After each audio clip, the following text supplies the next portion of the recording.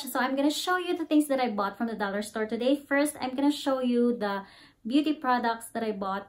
Actually, I only put um, lipstick, sunscreen, eyebrows, and Johnson's powder. That's all because my skin is very sensitive. Like I get pimples, I get acne and whiteheads at the same time. But this time, I want to do something different on my face because I'm doing vlogs. So I want to make my face presentable. So some blush here and eyeliner here. I want to practice doing eyeliner, the cat eyes, they say so I like to do that. And some mascara and liquid makeup from LA Colors. Brow powder because guys, look at my brow powder here. It's really overused now. Especially the center which I really like the color.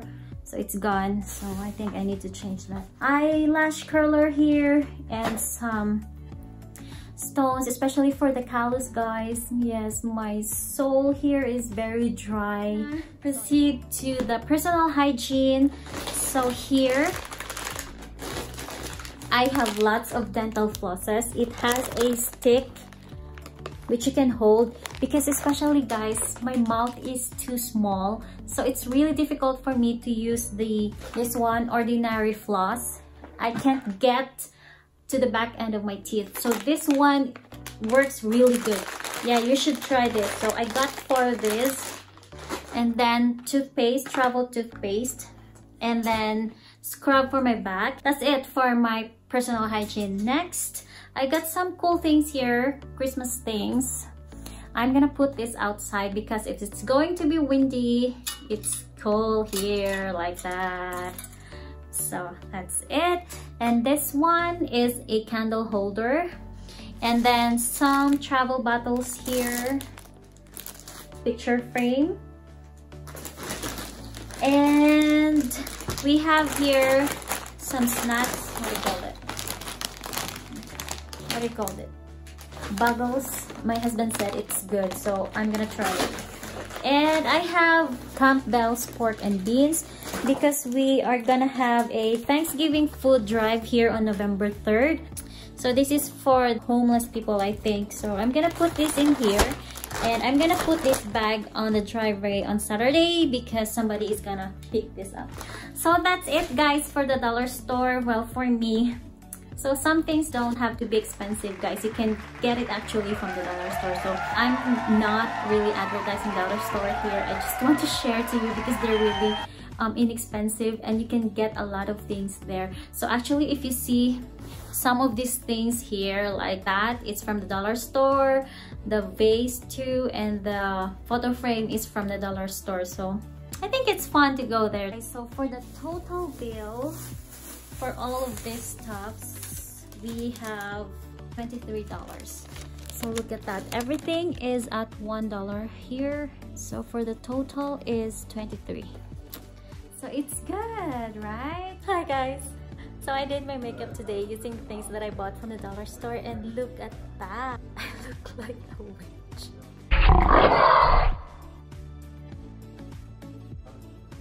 Well, this look is good for Halloween, right? So I think I'm gonna do better next time, okay?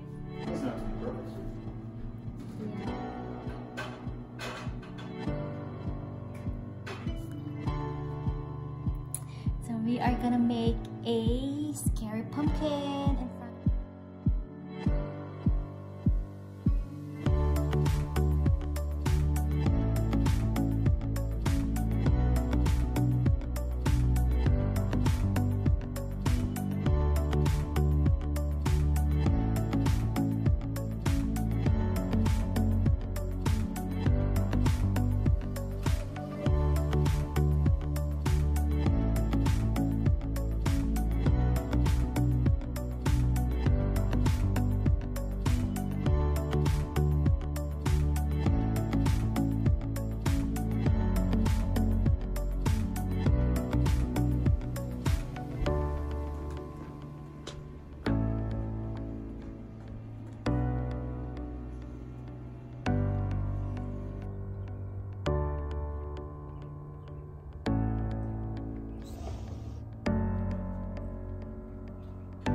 it guys.